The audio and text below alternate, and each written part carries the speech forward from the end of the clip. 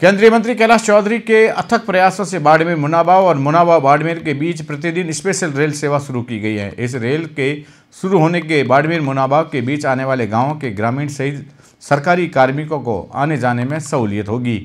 Rail सेवा शुरू करवाने पर लोगों ने केंद्रीय मंत्री का आभार जताया। केंद्रीय कृषि एवं किसान कल्याण राज्य मंत्री तथा स्थानीय बाड़मेर सांसद कैलाश चौधरी के विशेष प्रयासों से सीमावर्ती क्षेत्र मुनाबाव से बाड़मेर के बीच प्रतिदिन स्पेशल रेल सेवा संचालन की मांग पूर्ण हो गई है। सीमावर्ती क्षेत्र के लोगों की ओर से लंबे समय से की जा रही बहुप्रतिष्ठित रेल सेवा की मांग पूर्ण होने पर केंद्रीय कृषि राज्य मंत्री कैलाश चौधरी ने स्थानीय क्षेत्रवासियों की ओर से प्रधानमंत्री नरेंद्र मोदी और केंद्रीय रेल मंत्री अश्विनी वैष्णव का हार्दिक आभार व्यक्त किया है। केंद्रीय कृषि राज्य मंत्री कैलाश चौधरी ने कहा कि बाड़मेर मुनाबाव और मुनाबाव बाड़मेर प्रतिदिन स्पेशल रेल सेवा का संचालन शुरू होने से स्थानीय क्षेत्रवासियों और सुदूर सीमावर्ती क्षेत्र में बसे आमजन को निश्चित रूप से आवागमन सुविधा में सहूलियत मिलेगी। एक मार्च 2024 से गाड़ी संख्या ज़ीरो अड़तालीस उन्यासी प्रतिदिन बाड़मेर से शाम को पाँच बजकर पंद्रह मिनट रवाना होकर साढ़े सात पर मुनाबाव पहुंचेगी।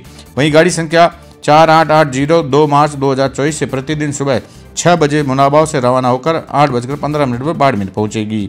इसी प्रकार दो मार्च दो हज़ार चौबीस से गाड़ी संख्या चार आठ आठ एक प्रतिदिन सुबह दस बजे बाड़मेर से रवाना होकर बारह पंद्रह पर मुनाबाव पहुंचेगी। वहीं दो मार्च दो हज़ार चौबीस से गाड़ी संख्या चार आठ आठ दो मुनाबाव से प्रतिदिन दोपहर दो बजे मुनाबाव से रवाना होकर शाम को सवा चार बजे बाड़मेर रेलवे स्टेशन पहुंचेगी। बाड़मेर से मुनाबाव के बीच प्रतिदिन चार फेरे, एक और दो मार्च को अलग अलग समय पर दोनों और प्रतिदिन चार फेरे करने वाली यह स्पेशल रेल सेवा अपने मार्ग में जसई, भाजपा, रामसर, गागरिया, गडरा रोड, लीलामा और जयसिंदर स्टेशनों पर ठहराव करेगी, जिससे कर्मचारी वर्ग, आमजन, व्यापारी और पर्यटकों तक सबको सुविधा और सहूलियत मिलेगी।